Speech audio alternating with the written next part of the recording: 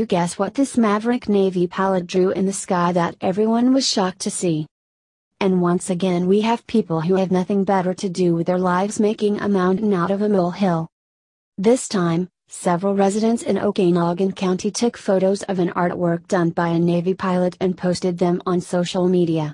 One mother even went as far as calling the local news to complain and saying that she was upset she might have to explain to her young children what the drawings were.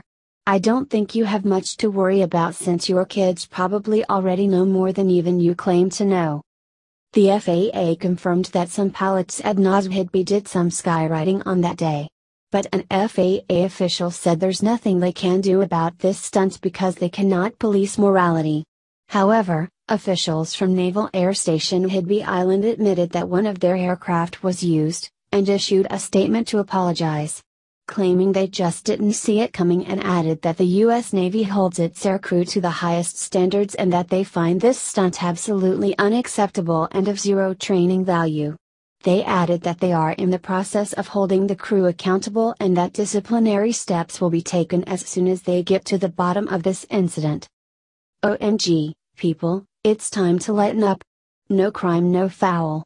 If any mother has a hard time explaining this to their children, it's because they are failing as a parent. And it's nothing worse than what the far left machine is teaching kids in the classroom about sex while they indoctrinate the new generation to be a bunch of brain dead left wing zombies that would make Uncle Marx beam with pride. Public schools ruining U.S. kids with indoctrination. Americans warned get off of Facebook turn off the TV, and educate yourself. Public education in America today is almost the opposite of education, according to an education expert who calls the nation's schooling indoctrination. This isn't some kind of huge national accident that all these legions of PhD experts and all these legions of committees and the U.S. Department of Education, it's not that they're just incompetent fools and don't know what they're doing, said international journalist and educator Alex Newman. They want the system to be doing what it's doing, and that is destroying real education. Real education, according to Newman, means developing knowledgeable, well rounded Americans who can think critically, process information, make good decisions, support themselves, and serve the needs of society. In other words, real education produces productive members of a capitalist society. That's what you do in a free market, Newman said. If you want to profit, you have to serve your fellow man. If you want to have a business, you have to make sure you're selling a product that they're willing to purchase at a price that they're willing to purchase. So that's what an education is, is to create an individual who can take care of themselves, who understands the scripture, who understands history, who understands science, who understands, obviously, reading and writing and basic mathematics at the very least, he said. Newman made these comments during a recent appearance on the Jesse Lee Peterson radio show.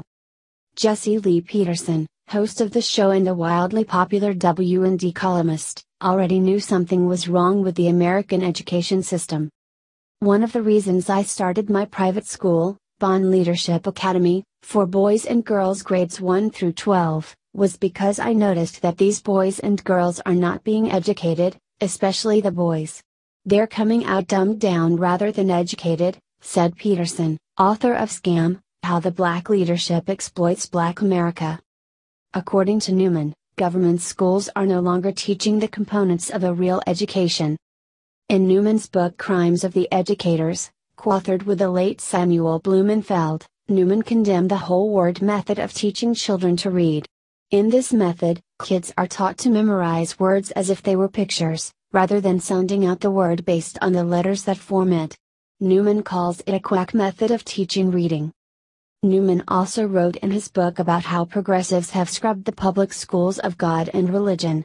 He writes that they have rewritten American history textbooks to downplay patriotism and prepare children to be global citizens. They have confused children by focusing on mathematics to the exclusion of basic arithmetic, which people need to use in their daily lives, he says.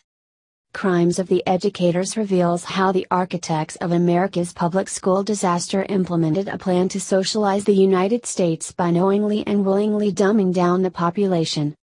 In the author's estimation, it all adds up to indoctrination. we need to draw a clear, defining line between education, which enables people to know how to think, versus what the government is doing today, which is indoctrination, training people what to think rather than how to think and how to process information and how to have critical thinking ability, Newman explained. The public education system is too far gone to be saved, Newman argues, largely because progressive educators such as John Dewey designed it specifically to dumb down and indoctrinate children. Therefore, he says modern education reformers need to start over if they wish to save the system. If we're going to have government provided education, we really need to start from the very beginning, from the very foundation and build on a new foundation that's based on proper reading, proper writing and real knowledge, not indoctrination, he said. And for that to happen, we've got to start from scratch and we've got to build from there, because the system, I think, is too far gone, it's too corrupt to be salvaged.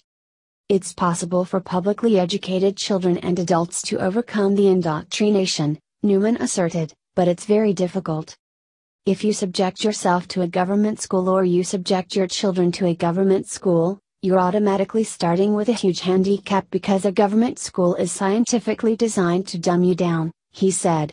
And it is possible to bypass that, but it takes very, very hard work. Those wishing to overcome the dumbing down process need someone who can teach them to read properly, according to Newman. Once they can read well, they can acquire knowledge and truth independently and receive a real education. You're not going to get the truth out of the government schools any more than you're going to get the truth from the far left media, Newman warned.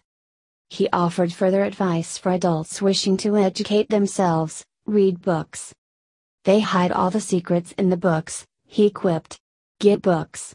Make sure you have a big library stocked with information on everything you need to know history, economics, politics, culture, science. We all need to be well rounded people, and if we're going to educate others, we need to be educated ourselves. So there's a lot of great sources out there, but I really recommend people just need to expand their libraries, get off of Facebook, turn off the TV, and educate yourself with books the old fashioned way. I think there's really no shortcut. Cut?